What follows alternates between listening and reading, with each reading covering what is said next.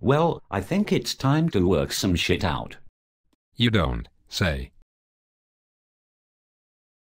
I think it's fair to assume the following. 1. It's the fucking apocalypse. 2. We four are the only four survivors in Sydney City.